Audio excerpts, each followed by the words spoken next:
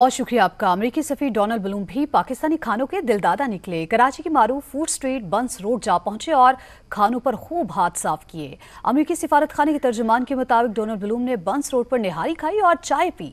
अमेरिकी सफीर का कहना था कि उन्होंने कराची शिफ्ट होने का फैसला कर लिया है। मालूम नहीं था कि कराची के खाने इतने मज़ेदार हैं। डोनाल्ड ब्लूम से बंस रोड पर मौजूद शहरियों ने भी मुलाकात की। मज़ेदार है। Got a tea. After the spicy kebab, this is just what you need. So far, the best meal I've had at Pakistan. Honestly. I've made a decision. All right, this is. Uh, I didn't know about this before, but I'm decided I'm going to move to Karachi. Yes. I'm coming down here, and I'm going to stay. And I'm not done yet.